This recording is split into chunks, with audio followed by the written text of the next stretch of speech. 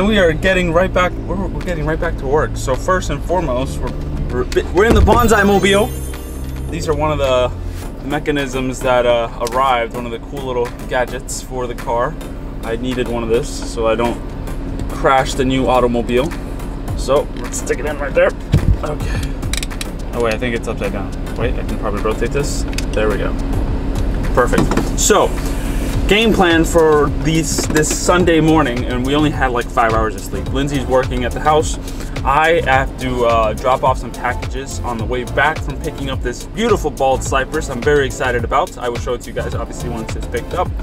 We have to drive probably 40 minutes north to go pick that up, and then on the way back, we're hopefully gonna drop off by UPS. I gotta return some of the things that I bought because they were incorrect. So that is uh, the mission for this morning. And by the way, the garden, I checked it out this morning. Beautiful. Let's go.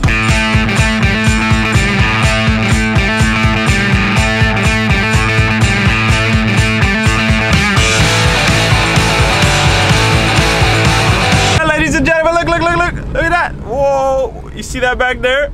It doesn't even fit in the van.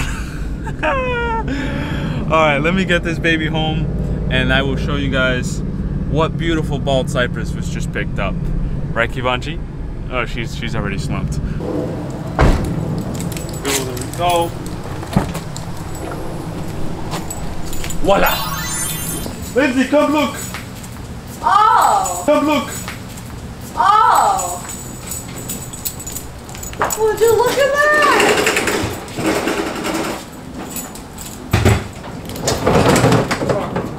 Ooh, I like it.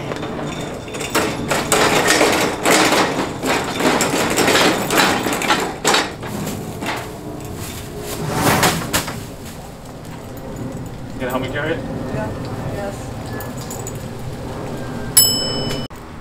Big.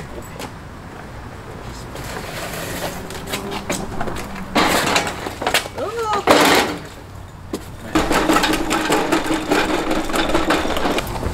I'm coming!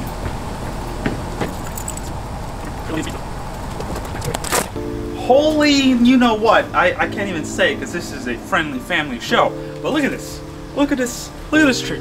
Look how amazing this is. It is amazing. Ginormous. Amazing. Look at this. Oh my god. I'm, I'm gonna cut this bucket. It's gonna be harder to obviously carry, but it's gonna be better because we need to see these these roots. It's gonna take time absorbing it in the garden to figure out what the design's gonna be for it. But let me get a knife. Let me cut this so you guys can really see and enjoy what I just got. It's beautiful.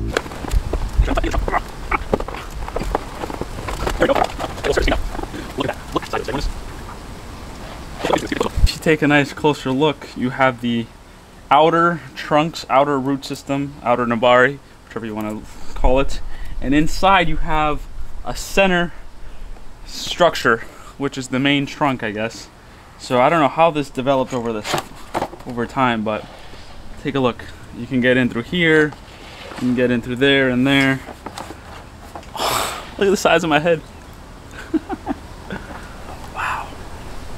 Imagine this well-developed branch structures, nice canopy, full or even not full when it when the bald cypress sets its um its foliage in a nice, lovely uh, um, circular uh, glazed pot. Oh, this is gonna be a, this is gonna be a lovely project. I'm I'm so so happy. First day back and we're already hitting the garden. We're hitting the ground running. That's what we're doing here.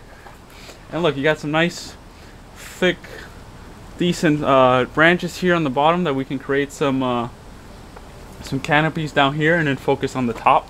And it could uh, could work out pretty well. They're actually pretty pretty sizable that we won't have to trim them off. Uh, and I think it can work out. So I think we we we we, we will have sorry a uh, pretty neat branch structure that we can develop from this point here on.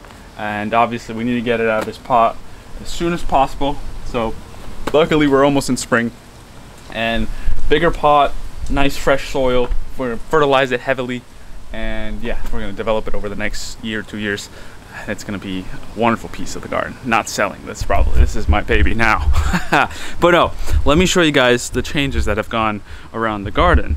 Uh, first and foremost before I show you what arrived look at how beautiful the bougainvillea bougainvillea here looks. It completely blossomed. Look at this. Look at these beautiful flowers. Amazing. And the other bougainvillea, which is, doesn't have as much flowers as that one over there, but look at the dead features after putting the lime sulfur on it. Look how nice, bright white it is.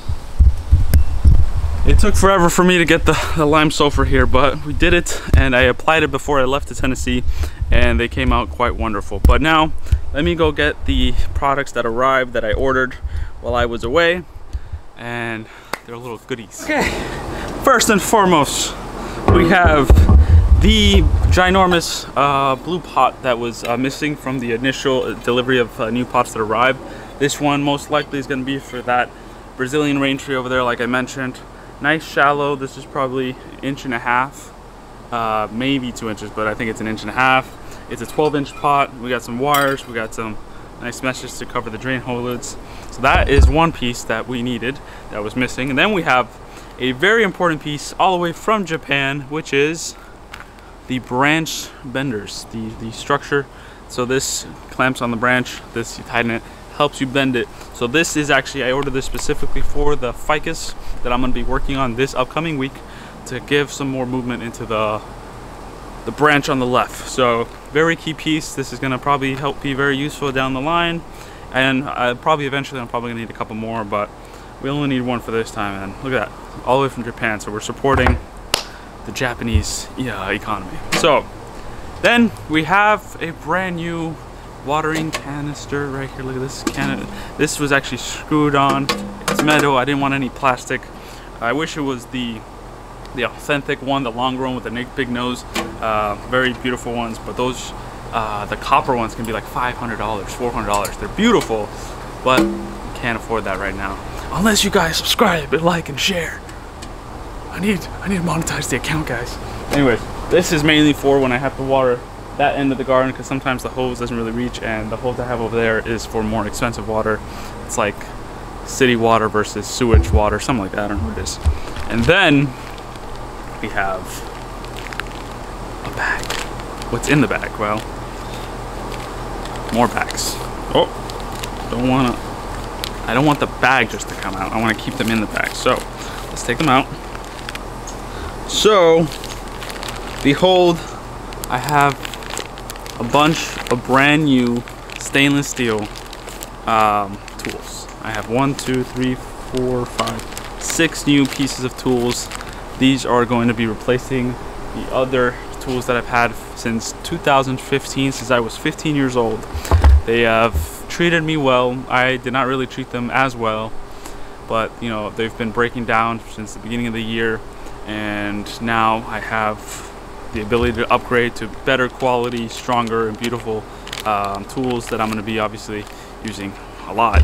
I, I need to get like one of those leather bags to keep it enclosed and protected, but again, investing as we go. It's it's a project. It's a process. You don't you know I'm, I'm can't keep spending all this money, especially with that bald cypress I just bought. That one was a I've been negotiating with a guy who owned it for a month. Uh, so luckily, finally came to an agreement, and I had to get it. So so that was that. But whew, I'm excited to be back. I'm excited to work. There's been progress in the garden that I will show you as the week goes on. There's been progress since I've been gone because I got all these tools and we were able to pick up this lovely bald cypress. So I will catch you guys uh, tomorrow and throughout this whole week we're going to be doing stuff. Uh, the rest of the day I'm going to keep planning and uh, breaking down the ideas that I mentioned from yesterday's video. So back in Miami, good to be back and let's get to work.